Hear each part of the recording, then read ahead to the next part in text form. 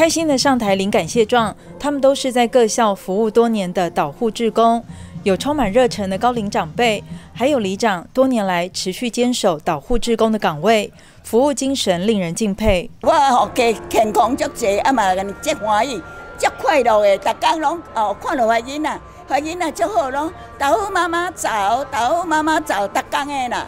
啊，我感觉讲足快乐，足好诶。啊，我就是看下豆腐妈妈吼，爸爸吼，哦，拢足辛苦的，安尼风较大，雨较大嘛是咧顾。啊，我就家己讲啊，我自愿，我若有身体健康健康哦，我一定要来做志工。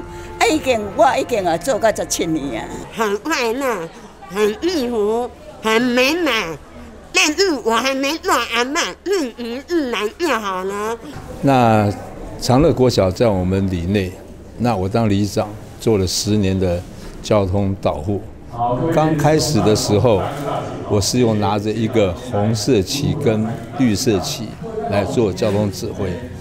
为什么是红色旗跟绿色旗呢？因为我是铁路的交通号志，我就用这个最简便的方式来指挥。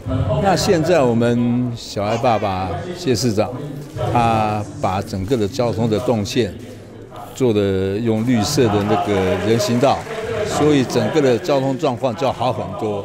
那我们就退到第二线，照顾我们小朋友安全的过这个马路，让他安全的到学校的这个阶梯上面。另外，暖溪国小也荣获导护志工交通服务队绩优奖。看到每位导护志工用心投入的精神，担任颁奖人的教育处代理处长杨桂杰内心是满满的感动。大家都知道市长非常重视行人安全，所以我们推动这个行人友善的政策。那其实，在呃学童上学的路程里面，呃行人友善还不够哈，我们还需要这么多的呃志工导护们来呃更细心的。来，呃，他们会比我们的老师们更早到这个路口，哈。他们以妈妈的心情来维护我们，呃，我们非常的感恩。无论是什么样的一个呃气候，他们都毫无懈怠，哈，呃，付出他们的爱心跟他们的细心来协助我们，那让人非常的感动。基隆共有三百多位国中小导护志工，教育处说感谢大家无私的奉献与付出，共同打造行人友善有爱的基隆。记者黄日升、陈淑平，基隆报道。